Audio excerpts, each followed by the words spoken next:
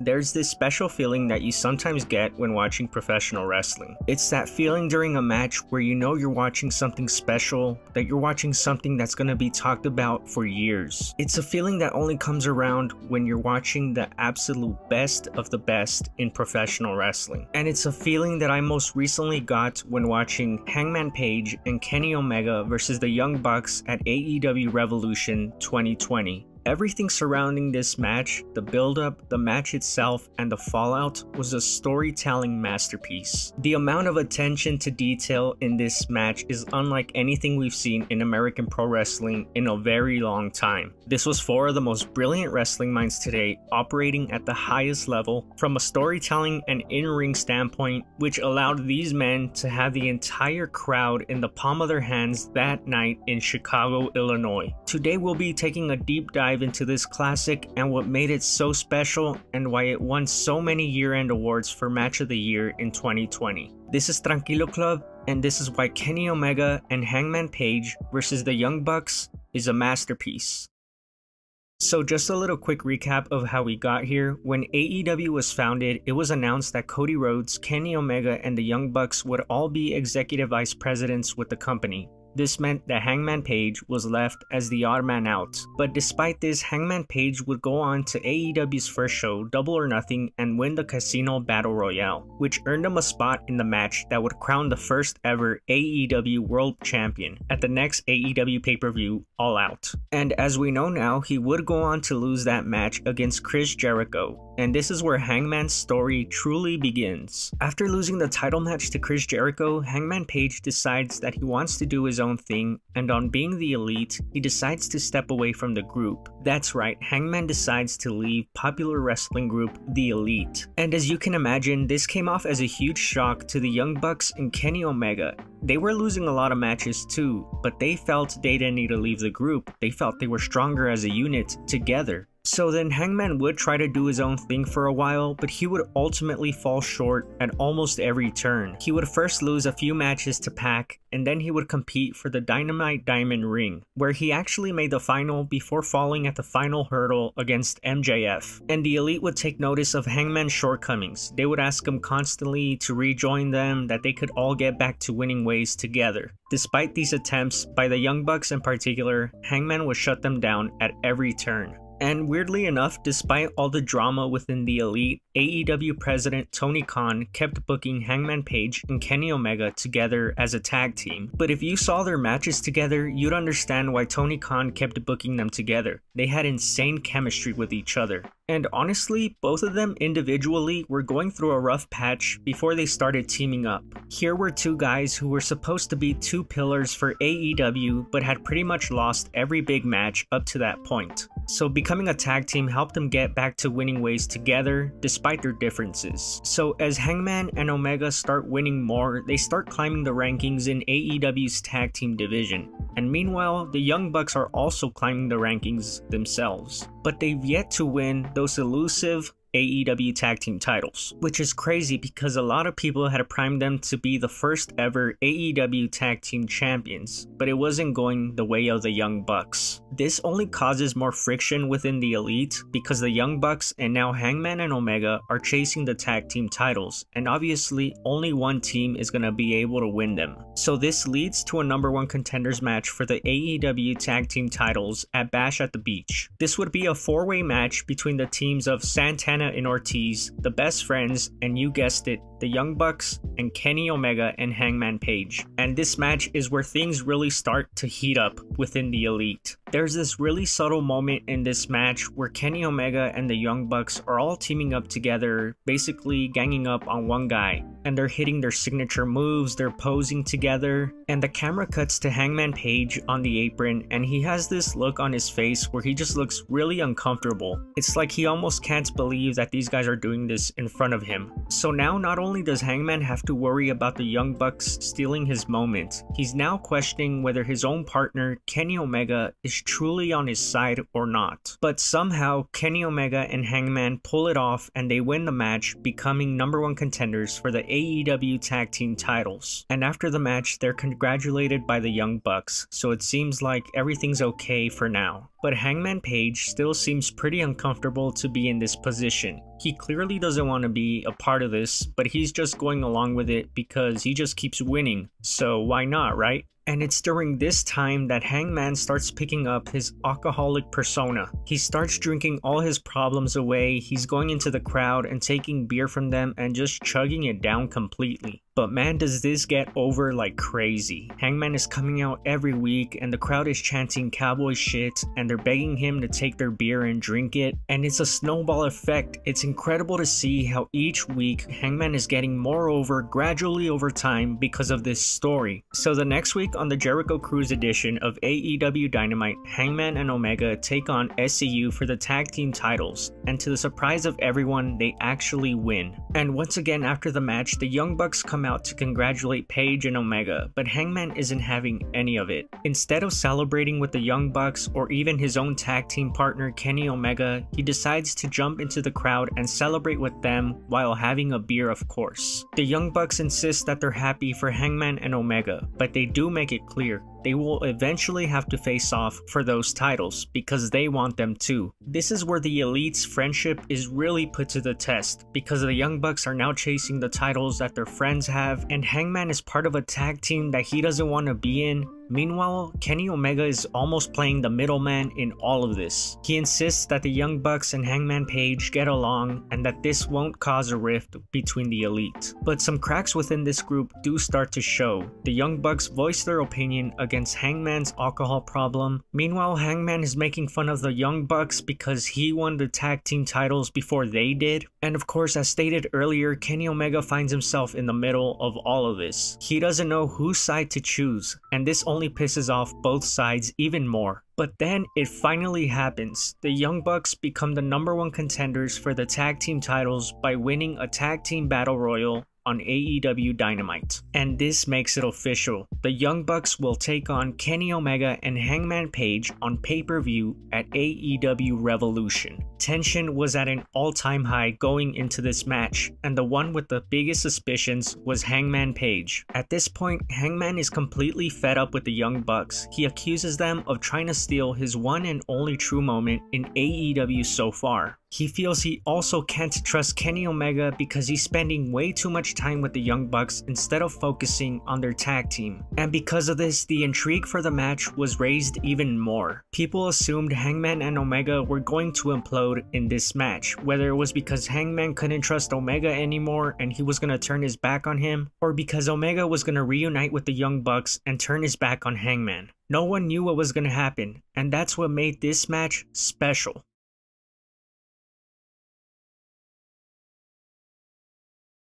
From the moment Hangman's theme hit at AEW Revolution, the crowd had already made up their minds on who they were cheering for. In a match with Kenny Omega and the Young Bucks, three of the biggest stars in AEW and reasons why the company was even possible, Hangman Page was the biggest star of this whole thing. The layers of storytelling that these four men are about to display are incredible, and props to commentary who are playing up this whole thing really well. Tony Schiavone points out that Hangman and Omega come out separately with their own themes. Meanwhile, the Young Bucks are coming out together as they have their entire careers. It's such a small subtle thing, but it adds so much to the match. The little seed of doubt that they're planting in your head is only setting you up for the emotional roller coaster you're about to go on. And like I said, Hangman is the star of this match. He's the hero of this story. Then there's the Young Bucks who come in as the villains from the get-go. The crowd despises them, they side with Hangman, they relate to Hangman. They do not like what the Young Bucks have been doing to Hangman over the past few months. And because the crowd loves Hangman so much and are rooting so hard for him, this match is elevated to a whole nother level because the crowd investment is at an all-time high. When you give the crowd someone to care about, someone so relatable, then it becomes must see because you're rooting for them so hard and that's what pro wrestling is. And in return, you get a recipe for an all-time classic. Then on the other side, you have the Young Bucks who are playing up the heel parts perfectly. They're trash-talking Hangman, they're spitting in his face, they're throwing middle fingers at him. It's crazy and the crowd is going absolutely wild. Then there's another interesting dynamic in this match. Kenny Omega is still trying to play the middleman in all of this. He's not trying to get personal, he's just there to defend the titles against his friends. The Young Bucks not so much. They're there to win the titles no matter the cost. This match kicks into high gear when Kenny Omega decides to say enough is enough and goes all out against the Young Bucks. And that's when these four wrestlers have everyone in the palm of their hands. Everyone is now going crazy for both Hangman and Omega and they want to see the Young Bucks get their comeuppance. And this only keeps escalating because once Kenny Omega decides to go all out, so do the Young Bucks. So now you have an elite civil war basically unfolding in front of our very eyes. But it's all this tension, all this drama that leads to a moment in the match that I will never forget. The Young Bucks take out Hangman Page outside of the ring with an Indytaker. Hangman is out, Kenny Omega is the only one left in the ring, and the Young Bucks are looking to finish this off already. They hit Kenny with a couple of super kicks, Kenny falls to his knees, and the end seems to be near. But in a complete show of disrespect, the Young Bucks hit Kenny Omega with a golden trigger. That's right, the move that he and Kota Ibushi, the Golden Lovers, use as a finisher. The crowd is in shock, Kenny Omega is out cold, and the Young Bucks go for the pin. And Kenny Omega, in an act of defiance, aggressively kicks out at one, and the crowd goes absolutely crazy. This is crazy. It's one of those moments where you can't believe what you're watching. It was like Kenny's one last FU to the Young Bucks for disrespecting the Golden Lover's name. You just simply don't do that. After this, the Young Bucks tried to finish it once and for all. They hit the Meltzer driver on Omega, but Hangman makes the save. Omega then tries to hit the One Winged Angel on Matt Jackson, but he can't because his shoulder is way too injured at that point. Hangman tags in and hits a One Winged Angel himself to a huge pop in the arena but that's not enough either. Then at that point, Hangman says enough is enough. He hits a buckshot lariat to Nick Jackson on the outside of the ring. Then he hits one on Matt Jackson on the inside and gets the one, two, three. Hangman wins the match, the bell rings, the crowd gives all the wrestlers a standing ovation, commentary is speechless, and so am I. Omega, Hangman, and the Young Bucks had just put on an absolute classic, and everyone who was watching knew it. But even when the match was over, the story itself wasn't over. After the match was over, the Young Bucks were once again trying to make amends with Hangman and Omega. Omega forgives them, but Hangman not so much. He waits on the outside of the ring while Kenny and the Young Bucks talk it out. And it's here where we see a few subtle moments that add so much intrigue to this story. Before Hangman steps out of the ring, as Omega and the Young Bucks embrace, he has his back turned to the three of them, and if you read Omega and the Bucks body language, it appears almost as if they're gonna set up a super kick on Hangman. But then Hangman turns around and the other three guys just play it cool in the end. Then Hangman steps out of the ring and now Omega has his back turned to Hangman. And Hangman puts his title down and grabs the ropes and it appears almost as if he's setting up for a buckshot lariat on Kenny Omega. But then Omega turns around and Hangman is now the one playing it cool. He holds the ropes open for Omega as he tells him to come over. The two of them finally embrace after a match for the first time in the run as a tag team. But the crowd is left wondering, did we really just see what we thought we saw? And if so, what's next for these two?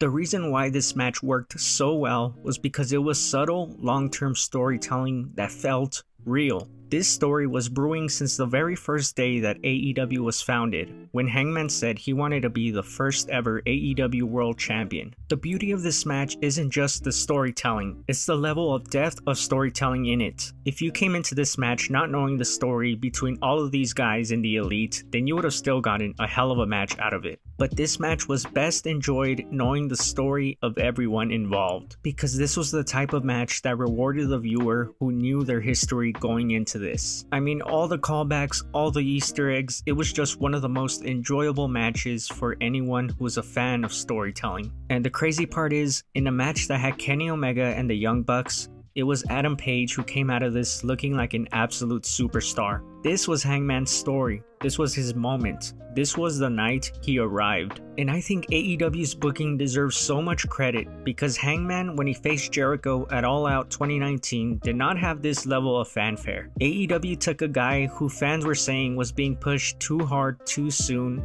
and completely deconstructed him and made him one of the most relatable wrestlers today. And that's why this match is a masterpiece, because it had all the makings of a classic. It had a fantastic long term story with a lovable babyface, a fantastic match, and a wrestler coming out looking like an absolute superstar from this match. And the subtleties of tension and betrayal that was still present after the match was over only left us guessing and wanting more. And the crazy thing is, this was really only the beginning of the Hangman Page story. As we know now, the story between Hangman and Kenny ended up being one of heartbreak. And it all started here on this February night in Chicago, Illinois. Pro wrestling does not get any better than this. So if you haven't seen this match, I urge you to go check it out and see for yourself why the Young Bucks versus Kenny Omega and Hangman Page is a masterpiece.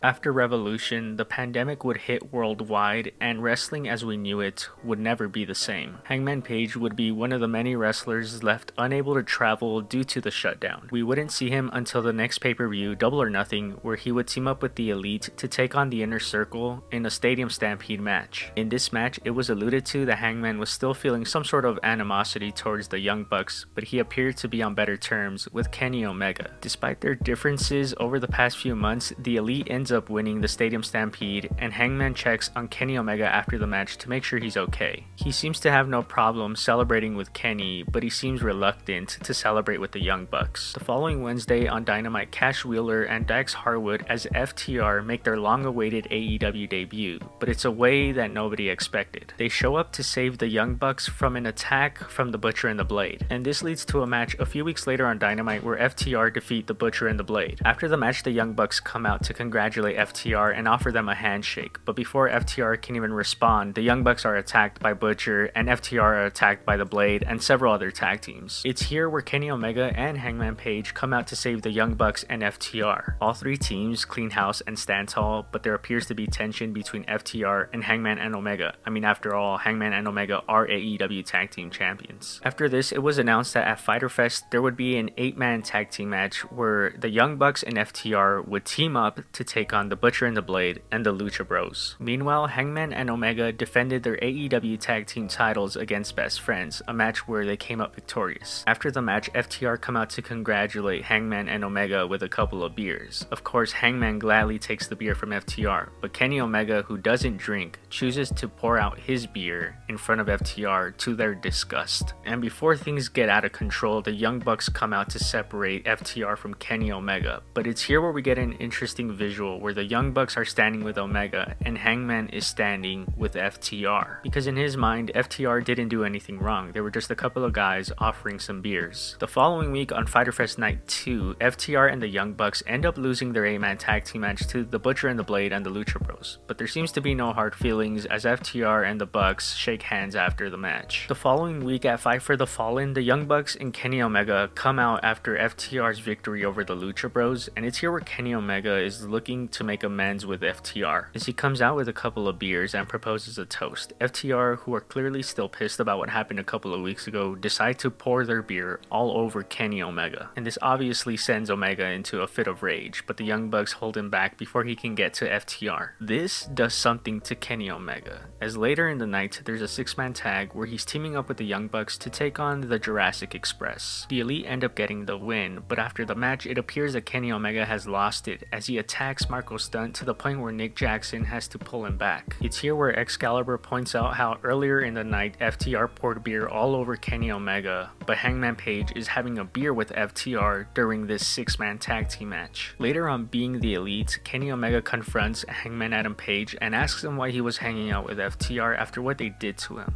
Hangman responds by telling Kenny that he kinda had it coming for pouring out the beer in front of them. Hangman plays it off as no big deal and assures Omega that FTR are good guys. He then asks Omega if he's cool, to which Omega says, Yeah, I'm cool. It's only national TV, right? As he walks away, visibly frustrated. Over the next several weeks, FTR and Hangman's relationship begins to grow. They're spending more time together. Hangman is inviting them out to have a beer. Hangman is there to celebrate with FTR when they finally sign their AEW contracts. Meanwhile, FTR save Hangman from a beatdown by the Dark Order before even Kenny can come out. For the first time in a long time, Hangman Adam Page is happy. He finally has friends who understand him and who he can relate to, two Carolina boys who just like to drink. As time goes on, Kenny Omega actually becomes more accepting of FTR because he trusts his partner Hangman Adam Page. And this all leads to a big 12-man tag team match on Dynamite where FTR team up with the Young Bucks and Hangman and Omega to take on the Dark Order. During the match, Dax Harwood gets an injury and Hangman walks him to the back, seemingly abandoning the match. But to everyone's surprise, Hangman does come back to the match to help out the Elites, but since they still are outnumbered without FTR, they end up losing the match, with Hangman taking the pin. The following week on Tag Team Appreciation Night, FTR aligned themselves with Tully Blanchard and they attacked the Rock and Roll Express. This catches everyone off guard, including the Elite, who come out to console the Rock and Roll Express, and they're all left wondering why FTR did what they did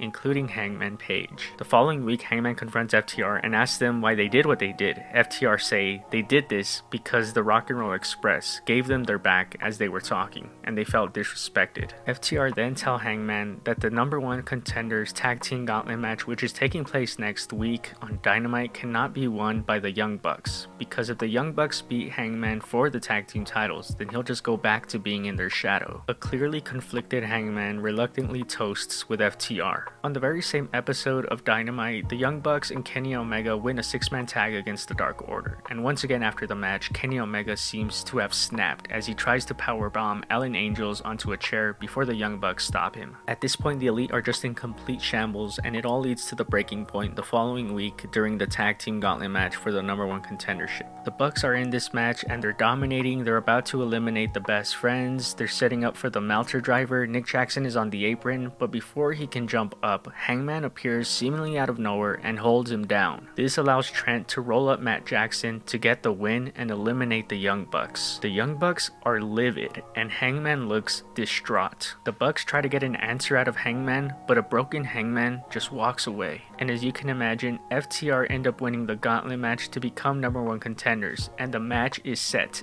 FTR versus Hangman and Omega for the tag team titles at All Out. Later in the night though, the Bucks find Hangman in the bar. After so many months of animosity and trying to make the friendship work, the Young Bucks just finally let it all out. They call Hangman insecure, they call him a drunk, they call him a jobber, and Matt Jackson even throws a drink into Hangman's face. The Young Bucks say they're tired of trying to make the friendship work and they give Hangman what he's wanted since November of 2019 they kick him out of the elite. The Young Bucks storm out, and Hangman is left looking at the broken window on the door. A broken man looking at a broken window. And he's left all alone, not just by the Young Bucks, but by FTR too. An FTR who which Hangman was expecting as seen by the two drinks he had ready for them. And during all of this, no sign whatsoever of Kenny Omega. That is until the next week during the Go Home episode of Dynamite for All Out 2020. An in ring interview to get Kenny Omega's thoughts on the situation is interrupted by FTR. They come out praising Kenny, they tell him they have no problem with him, and they propose one more toast before their match at All Out. Kenny basically tells them to fuck off and tells them he doesn't want their toast, and he tells them he wants to fight them two on one. Then Hangman Page makes his way out to the ring. He looks emotionally broken. He appears as if he's been drinking all day or crying all night or or maybe even both. FTR then tell Hangman to tell Kenny who told him to turn on all of his friends. They say it wasn't FTR. They say Hangman did this to himself because he's an insecure little boy and always has been. This pisses Hangman off and he tries to fight FTR before Kenny stops him. Kenny tells Hangman that they're trying to get into his head like they did before. During all of this, FTR got a hold of the tag team titles and Hangman sees them and he asks for them back but in an ultimate sign of disrespect, FTR just dropped them right in front of his face. Hangman picks up the titles and reaches behind his back to hand Kenny his belt. But when he turns around, he sees Omega standing outside of the ring, just shaking his head. Hangman stands in the middle of the ring, no longer friends with FTR, or the Young Bucks, and now wondering if he's still even friends with his own tag team partner. FTR targeted and manipulated Hangman at a time where he was vulnerable and felt all alone. He felt he no longer fit in with the elite, but he felt at home with FTR. But this was FTR's plan since the very beginning. They knew that as long as the elite were a thing, they would not be able to win the AEW tag team titles. So what they did is they broke up the elite from within and they chose the most vulnerable guy in the group to do it. FTR left Hangman a broken man and Kenny Omega a ticking time bomb before their match at All Out. Hangman Page and Kenny Omega would make their entrances at the pay-per-view without even acknowledging each other. Meanwhile, FTR's confidence is at an all-time high. Hangman and Omega don't acknowledge each other until the bell rings and it's when Hangman tells Kenny that he wants to be the one who starts the match. Kenny allows Hangman to start the match, but he just tells him to keep his head in check. FTR try to play mind games early on with Hangman like offering him a handshake, but he rejects it. At this point, Hangman just wants to prove that he's still a good tag team partner because because as far as he knows, Kenny is his only friend left. There's a spot early on in the match where Kenny and Hangman are double teaming Cash Wheeler with a few chops. This gets a smile out of Hangman, who then signals to Kenny for a high 10. Kenny looks at Hangman a little bit hesitant, but he does eventually give Hangman the high 10. I absolutely love this spot because it's a callback to one of the very first times that Hangman and Omega teamed up in AEW. Omega signaled to Hangman for a high 10, but Hangman rejected Omega. And this tugs on your heartstrings because it's Hangman trying his hardest to make it work. He wants to go back to those days when the Elite were his friends. In Hangman's mind, if he and Omega get through this one, then they're gonna be okay. And Hangman is absolutely trying his hardest in this match. He's saving Kenny from attacks, saving him from pins, he's checking up on him on the outside to make sure he's okay. And it's not like Kenny isn't trying either. Sure, he starts the match a little bit weary of Hangman, but as the match goes on, he and Hangman start to click, as they always do. Things actually seem to be going well a little too well, and it's just an emotional roller coaster of a match. But FTR aren't holding back either. Of course, they're wrestling their style where they target a body part, and this is where we get the heat of the match, where Kenny Omega misses a V trigger on the turnbuckle, and from there on out, they attack Kenny's knee. It essentially leaves Kenny wrestling on one leg, Kenny does eventually get the hot tag though, and Hangman comes in to clean house. He dominates. And after a bit, Hangman does call to Omega to hit their tag team finisher, the last call. Cash Wheeler dodges the initial try, but then Hangman gets a hold of him, and Kenny Omega goes for the V trigger but Wheeler moves out of the way and Kenny ends up hitting Hangman instead. Omega is left stunned and Wheeler immediately capitalizes and targets the knee of Omega. Omega falls to the floor and he reaches and he claws for Hangman after realizing what he's done. This is an absolute gut punch after seeing how well Kenny and Hangman were doing up to this point. FTR hit Hangman with a mindbreaker and at this point Kenny can't do much because of all the damage to his knee. He can't even stand and he's forced to watch watch as his partner is beaten, but to FTR's shock, Hangman ends up kicking out of the Mindbreaker. This is Hangman showing heart. This is him giving everything he has left. He doesn't want to lose this. He doesn't want to lose his only friend.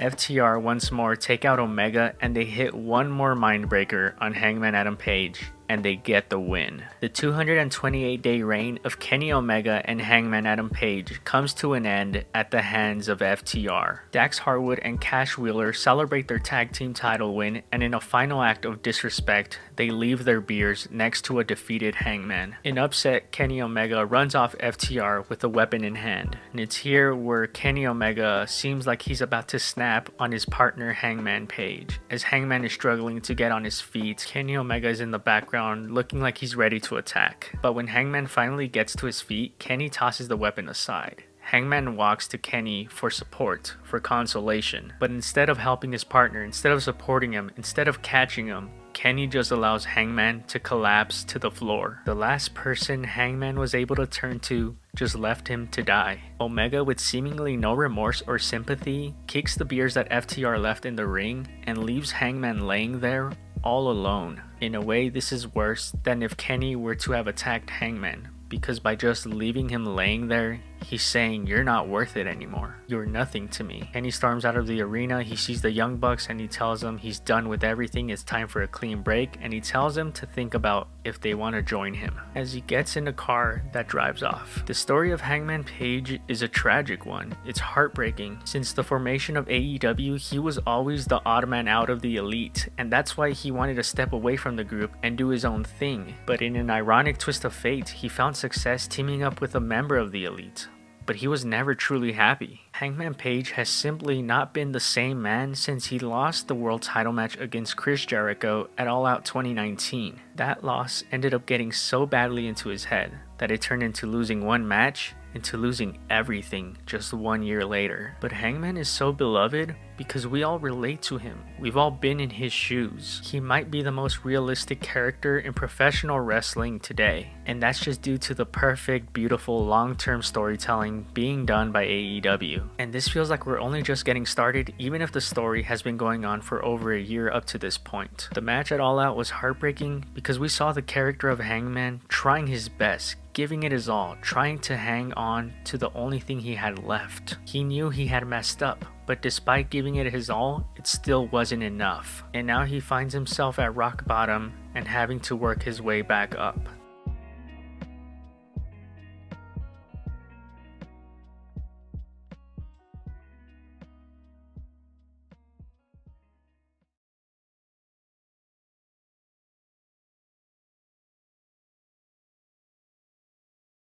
When Kenny Omega became a free agent in February 2019, any company that picked him up would have benefited greatly. As stated before, he had come off a hugely successful run in New Japan Pro Wrestling, and it was this run that helped him build a following amongst hardcore wrestling fans. But after the announcement of All Elite Wrestling, everybody felt it was inevitable that he'd sign with the promotion along with his friends. The recruitment of Kenny Omega by AEW would not take long as it was announced in early February that he had signed with the promotion. This announcement came during an AEW press press conference in Las Vegas for their upcoming show, Double or Nothing. Omega himself would show up at the press conference to huge fanfare. This was a huge deal, and it was because it was a huge get for AEW. It felt like when a sports team signs a big star player. The crowd's reaction said it all. Kenny Omega was destined to be their top guy. Now, Kenny Omega came in to AEW as the best wrestler in the world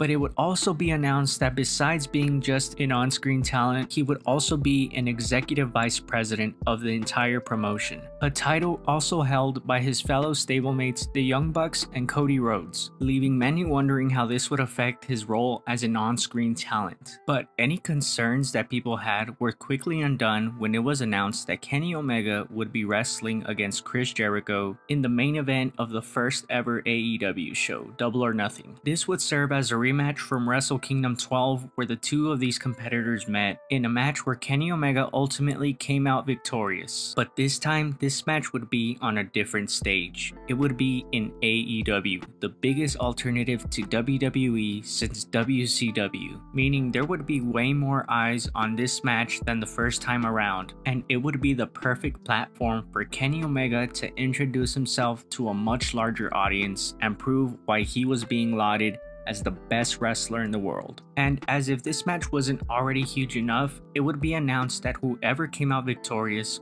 would be a participant in the match that would crown the first ever AEW World Champion. So the stakes for this match were insanely high, but these are the types of matches where Kenny Omega thrived in. He had gained a reputation in Japan to deliver when the pressure was on. So this was nothing new for Omega. If anything, this would be his crowning moment, his big moment in America, to prove why he earned the moniker the best bout machine. Becoming the ace of AEW was his and the fans knew it as well. So, what happened? AEW decided to take a creative risk by subverting their audience's expectations. Let me explain. The Kenny Omega that went into Double or Nothing was a different Kenny Omega than the one from New Japan Pro Wrestling. The Kenny Omega that came into AEW had the weight of the world on his shoulders. The world already knew what he was capable of. He came in a made man, compared to New Japan Kenny, who we went on a whole journey with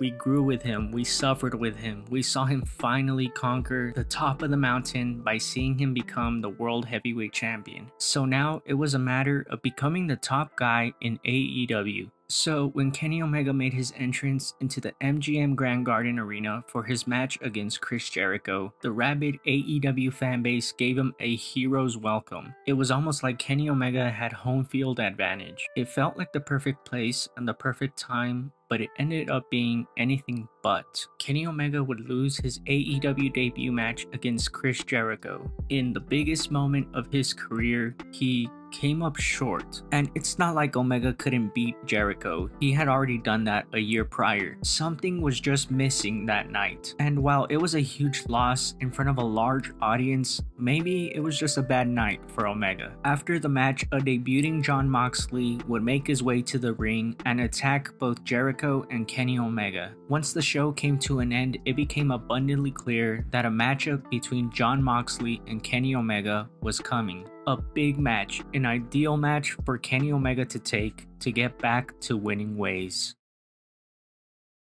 Before his big matchup with Jon Moxley at All Out 2019, Kenny Omega would pick up two wins in the lead up to the show. His first win came at Fyter Fest where he teamed up with the Young Bucks to defeat the Lucha Bros and Laredo Kid. Next, he would pick up a win against CIMA at Fight for the Fallen. So two wins against respectable opponents, but obviously none on the level of his super fight with Jon Moxley. But that match wouldn't end up happening at All Out. Moxley would end up pulling out of the match after an injury to his elbow that required surgery would leave him unable to compete. This left Omega without an opponent for All Out but AEW found a last minute replacement. They would announce that PAC would be making his AEW debut, replacing Jon Moxley to face Kenny Omega. This was a suitable replacement, as anybody who knows PAC knows he's one of the best wrestlers in the world. But with him stepping up with 9 days notice, Kenny Omega was still heavily favored to be the winner. But once again, Kenny Omega was beaten in his second big one-on-one match on pay-per-view for AEW, and the crowd was stunned this loss was far more shocking than Kenny's first one back at Double or Nothing against Chris Jericho. Because now we're left wondering what's going on with Kenny Omega. Why isn't he winning? He's supposed to be the ace of this company and now we've seen him take two big losses on pay-per-view. It was no secret, this match was must win for Kenny Omega, to the point where even JR on commentary asked the question during Omega's entrance for this match. He asked, did Kenny Omega leave his wrestling heart in Japan? And all things considered, it was a valid question. Was Kenny Omega losing because his heart was still in Japan? Or could it also be that the American stage was too big for him? Many questions were being asked after this loss to PAC, and it seemed to have gotten to Omega, as on being the elite, he was starting to act strange and almost unhinged it got to the point where the Young Bucks got really worried about him and had to talk him in to showing up for the premiere episode of AEW Dynamite. And Kenny would end up showing up for this show and he would participate in the main event where he teamed up with the Young Bucks to face Jericho and Santana in Ortiz. Kenny seemed to be in a better place mentally, he was on a roll in this match, that is, until Jon Moxley interfered and attacked him from behind. The two would brawl all over the arena and it would end with the now iconic paradigm shift through the glass table to Omega. Later, it would be announced that Omega and Moxley would finally have their match at full gear in an unsanctioned match. And the pressure couldn't be bigger for Kenny Omega. This match was must win even more than any other match he'd ever been in because as stated before, this was a made Kenny Omega. This was no longer underdog Kenny Omega. And Omega himself would say this. He said he didn't want to lose to a guy like Jon Moxley considering where he came from. Kenny was not holding back in the lead up to this match. He was making it known that he was more ready than ever. and that he'd be able to beat Moxley at his own game. This had the feel of a super fight, and it seemed as if Omega was finally ready to get his first big win in AEW. But for the third consecutive time in a big match, Kenny Omega couldn't get the job done. Jon Moxley would defeat Kenny Omega at full gear and it feels like this is the match that finally broke Kenny. Over the next few weeks, it appeared as if Omega was obsessing over the fact that he had lost to Moxley. He would talk about how he felt he could defeat Moxley if they were to have another match. And just as it seemed that Kenny Omega was reaching his breaking point, he found something that made him feel like a winner again. He found success teaming with his fellow Elite stable member Hangman Adam Page. The duo helped each other get back to winning ways almost instantly. It was almost too good to be true, but still, it wasn't clear whether Kenny was in this team for the long run or if he was just using it as a distraction. Omega and Hangman would exceed all expectations as a tag team and they would even become tag team champions in this stacked tag team division. And this was all despite Hangman and Omega's complicated relationship, not just as a tag team, but as friends. These two were dominating a division while going through their own problems both internally and with each other. And the funny thing is, Kenny Omega started off as the one who was really invested in this tag team. He really wanted to make it work. But over time, he just grew tired with all his problems with Hangman Page. Meanwhile, Hangman was the opposite. He didn't want to be a part of this tag team in the beginning, but as time went on, he realized all the mistakes he was making, and at the end, the tag team was the only thing he had left and he wanted to make it work. But by the time Hangman realized this, it was already too late for Kenny Omega. He was too far gone at this point. When Hangman and Omega lost the tag team titles after hanging on to them for almost 8 months, that's when Omega realized that he was done with Hangman and that he didn't need him anymore which is why he left a defeated Hangman who was looking to him for support, just laying in the middle of the ring after they lost their titles. The story between these two is incredible, and if you want the full week by week breakdown, I have two videos and I'll leave the links to them in the description below. On the following episode of Dynamite, Kenny Omega would have a sit down interview with Jim Ross and he would say that he was done with tag team wrestling. He reassured that he enjoyed teaming with Hangman even though they sometimes didn't see eye to eye but since they were no longer champions, that he wanted to move on and move into the singles division once again. And also, for the first time, Kenny would admit in the sit down interview that he wanted to be the ace of AEW and that he knew that this is what the fans wanted since the beginning. Omega would also admit that the primary reason he moved into the tag team division was because he was directionless after his loss to Jon Moxley. But after spending nearly a year in the tag team division, Omega was now ready to become the ace of all elite wrestling and Omega would get his wish because it would be announced that he would be participating in a tournament that would determine the number one contender for the AEW World Championship. And if you know Kenny Omega's history, you know he specializes in tournaments. There's a saying that goes, absence makes the heart grow fonder. The more you're kept apart from something, the more you'll miss it, the more you'll want to see it. And that's the route AEW decided to go when telling the story of Kenny Omega. Instead of instantly making Kenny the top guy in AEW, they made you wait for it. They made you want it, just like New Japan did. Only this time it's different. In New Japan, it was the chase to become the ace. In AEW, it's the chase to once again become the ace. By making the fans wait for Kenny to become the world champion, AEW added so many more layers to his character that wouldn't have been there had he just won the title right out the gate. This was a calculated move by Kenny Omega and all the higher ups in AEW to give others a time to shine and make you want Kenny to be the top guy even more than you originally did. But they did it in a way that was clever. It's not like they just had him in the sidelines waiting to get his turn. They had him crafting one of the most interesting stories in wrestling in years with Hangman Page. And as a result, when Kenny finally does become the top guy,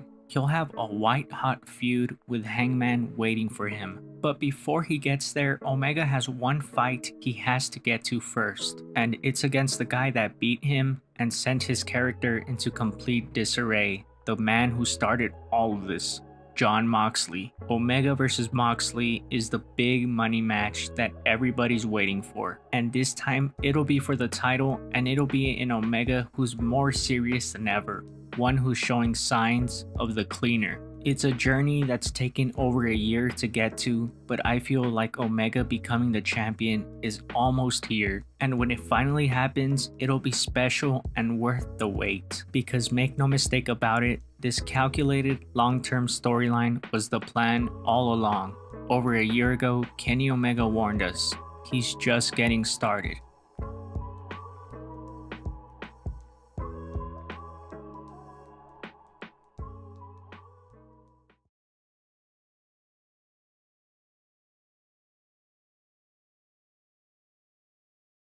So we last left off with the calculated arc of Kenny Omega. This was before he even became AEW World Champion. I've covered Kenny Omega's matches as champion in multiple videos throughout his reign, but for journalistic integrity's sake, I'll quickly recap Omega's arc as champion. Kenny Omega abandoned Hangman after losing the tag titles to FTR and even defeated Hangman in the World Title Eliminator Tournament final to become number one contender. Of course, he would defeat Moxley at Winter is Coming, turning heel in the process and kickstart starting a dominant reign. Omega is the longest reigning world champion in AEW history. As an in-ring worker, he adapted to his opponent's style. With six successful defenses, Omega cemented his spot as the ultimate final boss in AEW, though his matches always came with help from the Elite and Don Callis. Meanwhile, Hangman Page was left without any support, without any friends after Omega abandoned him. If you recall in the second video of this series, Hangman tried to right his wrongs with the Elite when it was far too late. Kenny and the Bucks had reached the point of no return, they walked down a dark path that they're still on to this day. But Hangman found allies in an unlikely place. If you recall, back in late 2019, early 2020, when Hangman was feeling lost, the Brody Lee led Dark Order was trying to recruit him, but Hangman blew them off, citing not wanting to join a cult as a reason. But despite Hangman's best efforts to not be a part of a group again after his experience with the Elite and FTR, he couldn't stay away from the Dark Order no matter how hard he tried. They stood and fought together directly after the passing of Brody Lee, which formed a bond between both sides. Although the Dark Order would continue to ask Hangman to become an official member, he decided that fighting alongside them meant more than being labeled an official member. When Hangman was beefing with the 500,000 members of the Hardy family office, the Dark Order was there to save him at every turn. On being the elite, Hangman and the Dark Order became the big, odd, happy family. In the build to Double or Nothing 2021, Hangman was at the top spot in the rankings, which made a clash with Omega inevitable. However, Hangman would suffer a shock defeat to Brian Cage on an episode of Dynamite, which would see him fall down the rankings. It was here where Hangman entered a short feud with Team Taz, where he again had support from the Dark Order to even the odds. Page would open up the first pay per view with a full crowd in over a year when he defeated Brian Cage, avenging his loss from a few weeks earlier. After Double or Nothing, Hangman saw himself climb his way up the rankings once more, but this time it was for real. But that's not how Hangman saw it.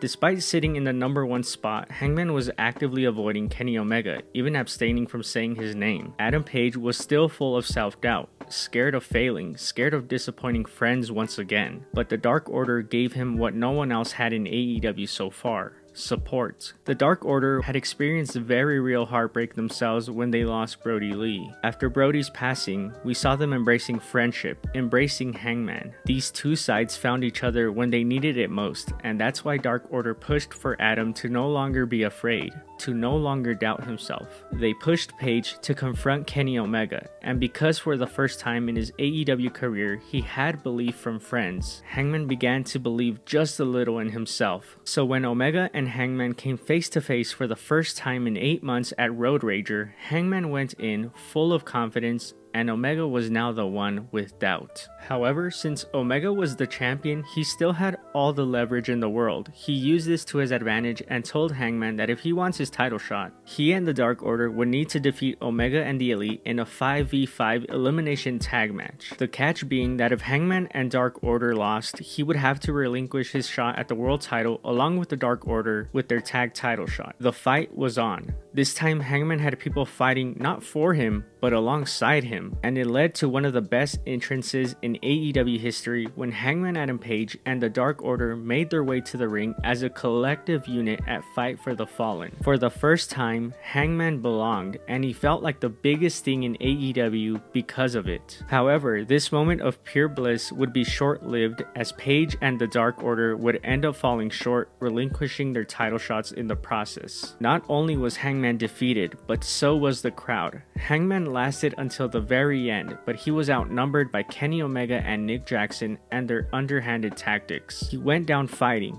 this was a gut punch. It was supposed to be Hangman's moment, but the Elite took it away from Hangman, from the Dark Order, from all of us. This hit Adam Page harder than anyone else though. He felt responsible for the loss, for costing himself and his new friends a shot at gold in AEW. Therefore, he chose to split away from them and face the Elite on his own. The big difference here was, the Dark Order was actually respecting Hangman's wishes, a completely different response from them compared to the Elite when Hangman chose to leave them. The week after Fight for the Fallen, Hangman would be interrupted during an in-ring interview by the Elite. Omega called Page a loser and told Hangman that he's not on the level of the Elite. A brawl ensued, but Hangman was outnumbered. Members of the Dark Order came out of the tunnel before they were stopped by Evil Uno, who demanded that they respected Hangman's wishes and not get involved any longer. A BTE trigger on Hangman would end the segment, and it would write him off TV for the next couple of months as Page and his wife were expecting the birth of their child very soon. For two months, the protagonist of AEW went missing, all while the promotion was exploding in popularity with the arrivals of top tier talent like CM Punk, Bryan Danielson, and Adam Cole. And while all of that was insanely cool, we all knew that there was only one man who was ever going to beat Omega for the title. It was announced that a casino ladder match to earn a shot at the AEW World title would take place on the Dynamite 2nd anniversary show, and that meant a Joker would be involved. The match was stacked with talent Moxley, Pac, Andrade, Archer, Orange Cassidy, and Matt Hardy for some reason, but it was the Joker who stole the headlines. Hangman Adam Page made his long awaited return and came back ready to conquer his demons. After some insane ass kicking from our favorite anxious millennial cowboy, he climbed the ladder and won the match. The redemption arc officially kicked into full gear. The match was set Kenny Omega versus Hangman Page for the AEW World title at full gear, a match years in the making. The following week, Hangman would speak to us from the heart. He talked about how he came into AEW wanting to be the first ever AEW World Champion and how he failed. He talked about how losing his friends made him lose himself, but the support of true friends helped him get back on his feet. Hangman mentioned that the only thing he never lost was the support of the crowd. The cowboy shit chants grew louder every week, and he mentioned that when they were at their absolute loudest, he had the balls to step away to be there for the birth of his son. That's cowboy shit. Hangman had a new perspective this time around he thanked the crowd for always believing in him because for the first time, he now believes in himself too. He didn't promise a win at full gear,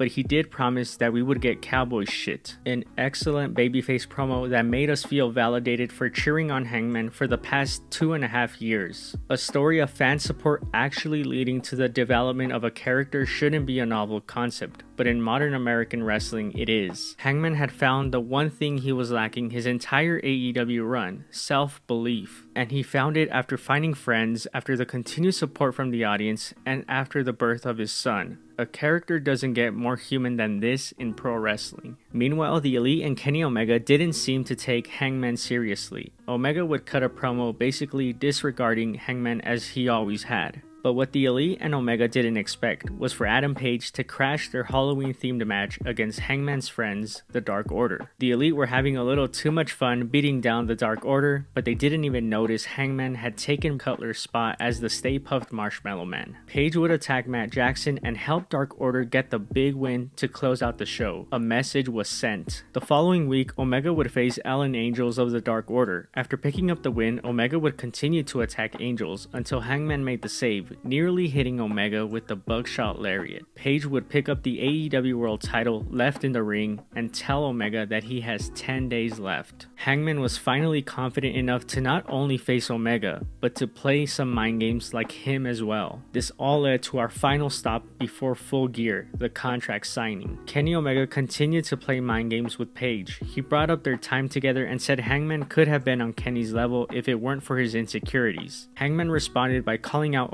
Omega's insecurities when it came to the Golden Lovers. Hangman made it clear he was no longer afraid or full of doubt, and Omega was going to face a fully confident Hangman this time around as opposed to their match at Full Gear one year ago. Omega told Hangman he misunderstood and conned Page into shaking his hand one last time before Don Callis, who was posing as a cameraman, attacked Page and left him bloodied. Omega would sign the contract with Hangman's blood adding insult to injury. Oh, and one more thing. On the Rampage the night before Full Gear, Hangman apologized to the Young Bucks. He said they were even, considering they both cost each other a title shot. Hangman did warn the Bucks to not get involved in his title match against Kenny or otherwise he would ruin them, obviously planting seeds for the future. Hangman made his entrance at full gear after a sick pre recorded video and got the hero's welcome. Omega came out with the one winged angel gear. This instantly had the big fight feel. There was chops to start the match, Hangman is actually confident, and then we have Don Callis getting involved early on. Omega is distracting the referee a lot so Callis can take advantage of the situation. After a while, Omega starts to get cocky and he starts dominating. He hits a sunset flip powerbomb, a snapdragon suplex on the apron. Hangman responds by hitting an avalanche blockbuster and a dive off the turnbuckle to the outside through the ring announcer table.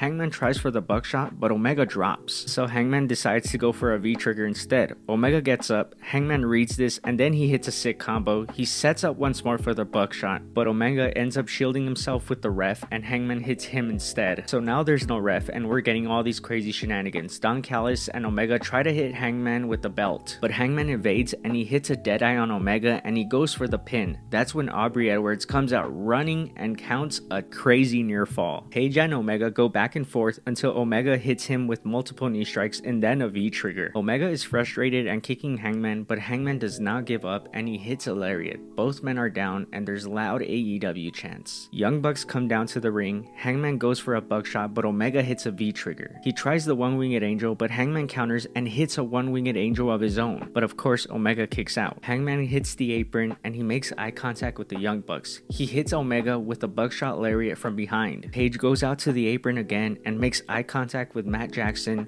who then nods at Hangman in approval. Hangman hits a clean buckshot lariat on Omega and gets the win. All of his demons conquered, all of his insecurities no longer holding him down. And in an ironic twist of fate, with the Young Bucks in his corner, the same Young Bucks who were at ringside for all of Kenny's matches, but who refused to be there for Hangman's match against Jericho at All Out 2019 for the AEW World title. We came full circle. And before the show ended, Hangman's friends, the Dark Order, walked out to celebrate with him. The same same friends who helped him conquer all his demons, the same friends who let him get to this moment. He was offered a beer by them, but he didn't even want that. He chose to hug them before they lifted him on their shoulders in a beautiful image to end the show. This is how you pay off a story with a satisfying ending. On day one, Adam Page came into AEW and said he wanted to be the first ever AEW World Champion, but he failed. And when he failed, he lost everything. He had to work his way up back from the bottom, and we were all there to cheer him on during his rise up to the top again. We love the anxious millennial cowboy because he's relatable. He has insecurities, he has faults, and he's not afraid to admit that he does. And it's okay that he has his faults because he can work through them because he has friends who helped him get through it. After those two years of self doubt, self loathing, Hangman finally became what he wanted to be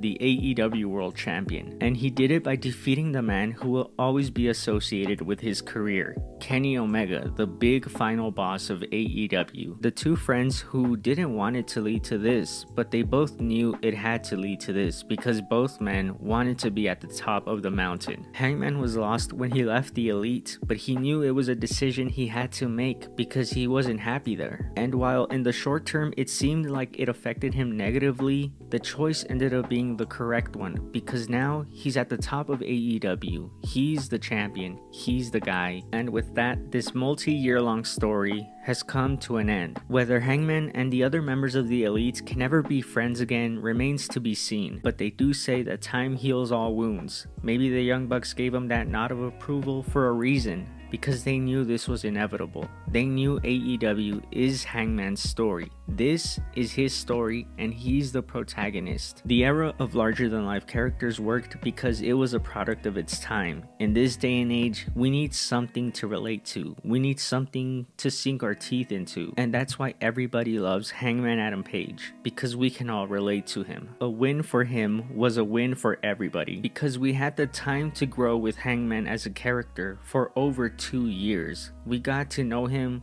we got to relate to him, we got the chance to care for him. This is the end of one of the best long term arcs in professional wrestling history. From the beginning, where Hangman bit off more than he could chew and he fell to rock bottom, to the middle, where Hangman was lost and trying to find his way, trying to find friends, and finally finding the right friends, to the triumphant end, where he finally overcame all his obstacles, where he finally met his day one goal of becoming AEW World Champion champion. A clear beginning, middle, and end of a character arc. That's character development. And this, my friends, has been the Hangman Adam Page saga.